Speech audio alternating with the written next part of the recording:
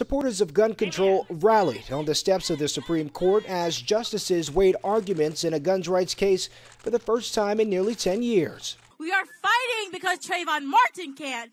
We are fighting because Tate Jackson can't.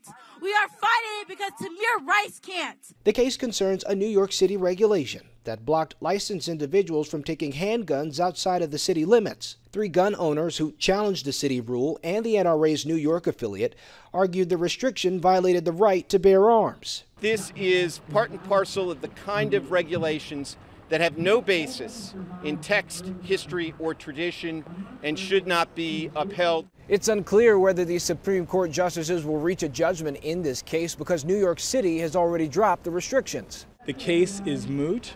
Um, it is a case that should not um, have gone forward to this point. City officials urged the court to throw out the case before Monday's arguments, concerned the High Court's conservative majority could use it to broaden gun rights. The Second Amendment is not supreme. It's just one of the many rights and privileges laid out in the Constitution.